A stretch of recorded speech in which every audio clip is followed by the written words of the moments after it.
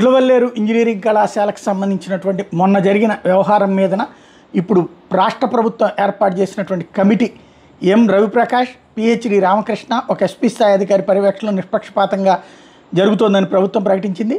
అంతేకాకుండా New Delhi CERT in నుంచి computer emergency response team director పర్యవేక్షణలో ముగ్గురు నిపుణులతో కూడిన బృందం గొడ్లవల్లేరు ఇంజనీరింగ్ కాలేజీ చేరుకున్నారు. వీళ్ళతో పాటు centre for development of advanced computing CDAC పూణేకి సంబంధించిన ఇద్దరు నిపుణులు కూడా ఈ మీ అనేటటువంటి పేరుతో ఏర్పాటు చేసినటువంటి టీంలో పనిచేస్తున్నారు. సిఈఆర్టీ ఐబీ డైరెక్టర్ నాయకత్వం వహిస్తారు.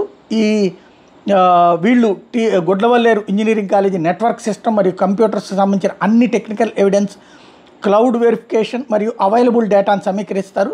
అందులో భాగంగా కాలేజీలో కానీ హాస్టల్లో కానీ ఏ రకమైన స్పై కెమెరాలు లేదా ఇంకే రకమైన ఎలక్ట్రానిక్ గాడ్జెట్స్ వాడారా లేదా అన్న విశ్లేషణ కూడా చేస్తారు. సిఈఆర్టీఐ director Eluru ten GVA G Ashok Kumar IG Raviprakash మరియు రామకృష్ణాలు సిఆర్టీ సైంటిస్ట్ మరియు సీడాక్లతో కలిపి కళాశాల మరియు హాస్టల్స్ని పరిశీలించారు.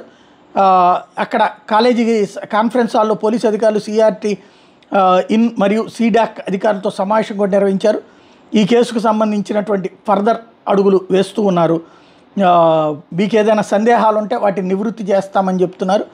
అదే సందర్భంలో ఇంతవరకైతే ప్రాథమికంగా ఎట్లాంటిది జరగలేదు అన్నటువంటి కాన్సెప్టే హైలైట్ చేశారు.